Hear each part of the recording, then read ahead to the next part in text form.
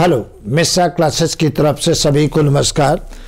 देखिए 2023 में NMC bill होगा लागू, क्योंकि? देखिए 2022 में बहुत आशाएँ थी कि एनएमसी बिल लागू हो जाएगा, लेकिन एनएमसी बिल लागू नहीं हो पाया, क्योंकि सरकार भी कुछ ढीली थी। और गवर्नमेंट का भी एक सोची समझी रणनीति थी।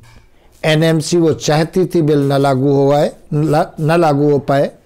उसका रीज़न है 2024 में लोकसभा इलेक्शन है और लोकसभा इलेक्शन को देखते हुए जानबूझ करके 2023 तक मामला खींचना चाहते थे।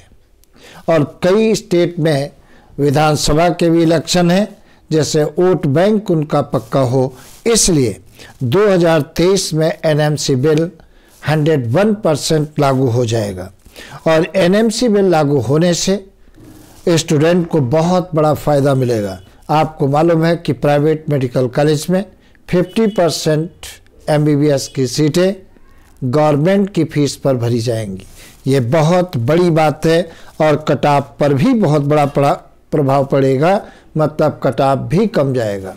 इसका मतलब अब लग जाना चाहिए, तुम्हें जुट जाना चाहिए और एमबीबीएस की एक गवर्नमेंट मेडिकल कॉलेज सीट प्राप्त कर लेनी चाहिए।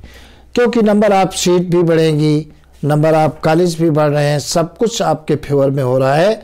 और मिश्रा क्लासेस के द्वारा यूट्यूब पर भाई के क्वेश्चन डाले जा रहे हैं, उन क्वेश्चन की आप करें प्रैक्टिस तो चैनल पर नए हैं तो चैनल को सब्सक्राइब कर लें, वीडियो को लाइक करें, वीडियो को अपने अपने ग्रुप पर शेयर कर लें। ओके